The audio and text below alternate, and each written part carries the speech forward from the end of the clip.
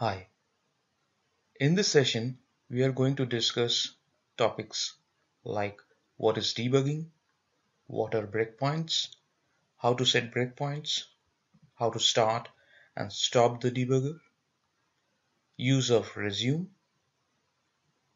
debug perspective, which includes discussion on variables view and breakpoints view, evaluating variables in the debugger. Now to start with, what is debugging? Debugging is a methodical process of finding and fixing the bugs in a software. Specifically, Eclipse debugging is a process that allows us to run a program interactively while watching the source code and the variables during the execution. Now, what is breakpoint? A breakpoint is a pausing place in a program put in place for debugging purposes. When the program is run in debug mode, its execution is paused or suspended at a particular location based on the breakpoints created. Now these definitions would become more clear when we start with practical examples. Now as the remaining topics like how to set breakpoints, how to start and stop the debugger, use, use of resume, a debug perspective, evaluating variables in the debugger. These are more uh, example based. Let's go to Eclipse and explain them one by one. Now in Eclipse we have a sample project called debugging tutorial. Let's go inside source and open a very simple program called debug hello world.java as we can see here debug hello world.java has a main method. Inside main methods there are uh, five lines of code. Initially at line number five an integer variable i is declared and assigned a value of 10. In the next line, line number 6, i is incremented by 100. In line number 7, the value of i is printed. In line number 8, the value of i is decremented by 20. And at line number 9, again, the value of i is printed. So it's a pretty simple program where one particular variable i is declared its value is incremented uh, it is printed then its value is decremented again its value is printed. Now we need to understand how to set breakpoints. Now setting a breakpoint is pretty simple. Say I want to set a breakpoint at line number 6 what I need to do? I need to go to this margin here and double click on the margin as you can see over here at line number 6, on this margin, a circle appears, blue colored circle appears and if I hover on top of it, it shows line breakpoint colon debug hello world line colon 6 main string array which means a breakpoint is placed inside debug hello world at line number 6 inside main method. Now if I want to remove this particular breakpoint it's pretty simple I can double click on top of this breakpoint and it would go away. So let me double click now. It is gone. So let me uh, place the breakpoint once again here. Uh, double click. It has come. Now let me place another two breakpoints say at line number 8 and 9 now another way to place a breakpoint is you can go to this margin. Right click select toggle breakpoint. See the breakpoint has appeared here as well. Similarly, we can remove this breakpoint as well. Right click on top of this breakpoint, toggle breakpoint. So the breakpoint is gone. Anyways, so let me put two breakpoints here at line number 8 and line number 9. So we have seen how to place breakpoints.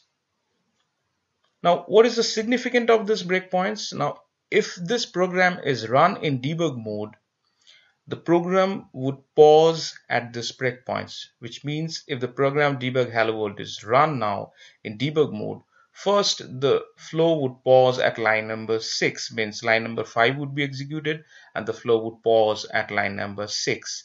And accordingly later on the flow would pause at line number 8 and line number 9, which means the next two breakpoints.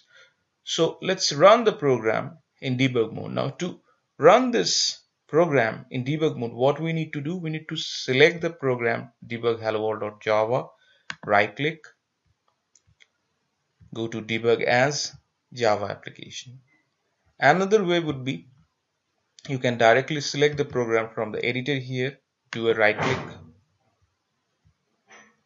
debug as Java application. Now, once we run this particular program, in debug mode, what happens? Eclipse asks to us for a confirmation of perspective switch, which means currently the program is in Java perspective. When we are running this program in debug mode, the perspective would switch to debug perspective. So Eclipse is asking for a confirmation from our end. So we would click yes and before that here we would check this checkbox to remember my decision so that whenever later on we are running a particular code in debug mode the perspective automatically switches from Java perspective to debug perspective. So let me select remember my decision and click on yes. Now as you can see over here the perspective has been switched from Java to debug. And in debug perspective, we can see some other views as well. Let me first focus at this section. Here, line number 6 is highlighted in green, which means our first debug point placed at uh, our first debug breakpoint, I would say rather, uh, placed at line number 6, it is hit and the control is paused at this line which means line number 5 has been executed and the program is halted at the first breakpoint. If we have a look at the top right in debug perspective there are two views one is variables view another is breakpoints view.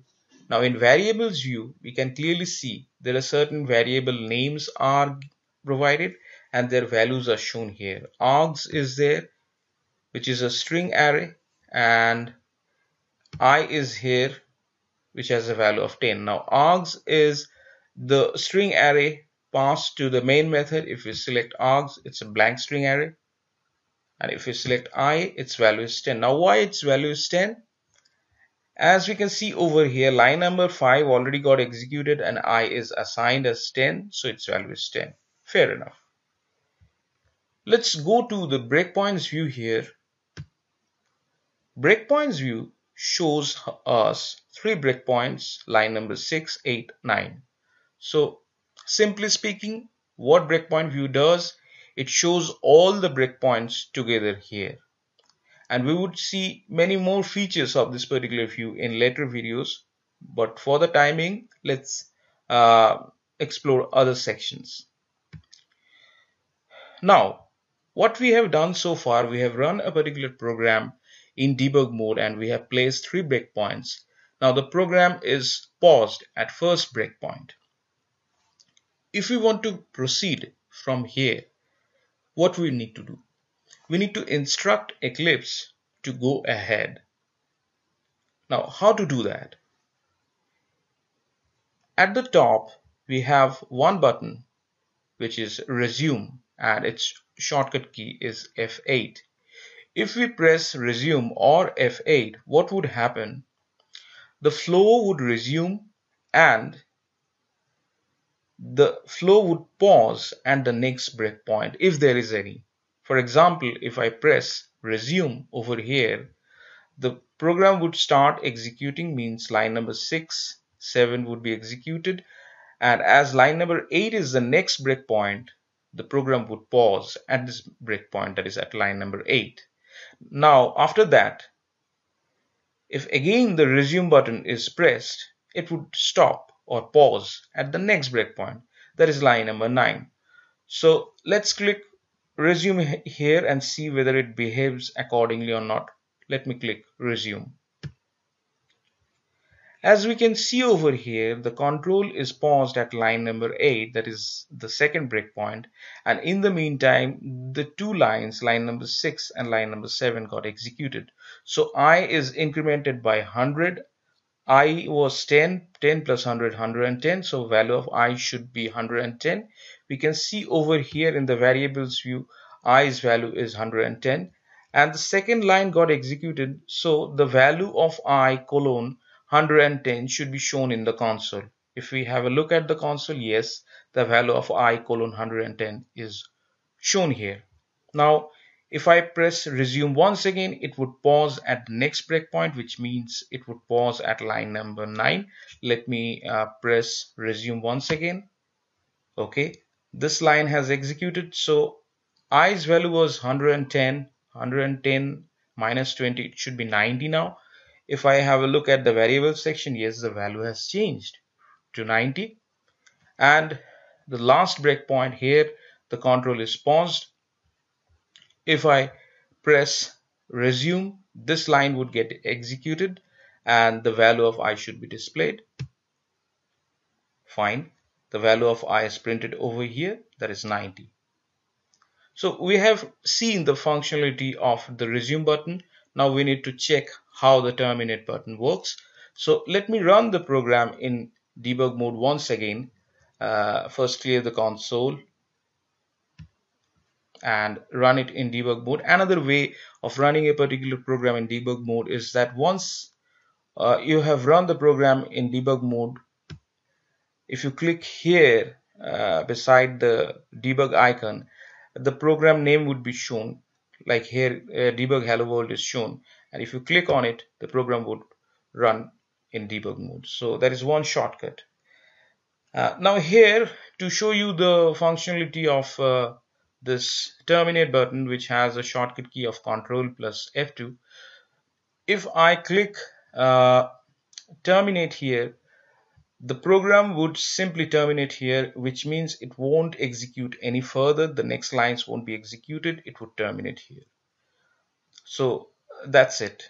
So let me click terminate and the program ends here. So resume and terminate these are basic two buttons which we can use during debugging. In the next session we would discuss in details about step into step over and step return. So for the timing what we have learned so far we have learned what is debugging uh, what is breakpoints I mean what are breakpoints how to place breakpoints in a program how to run a program in debug mode.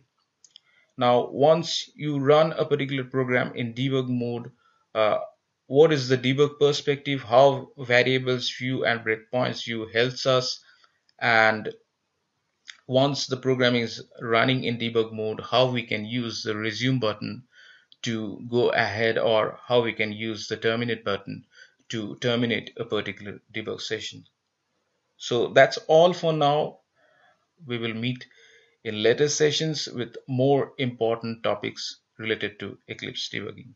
Thank you.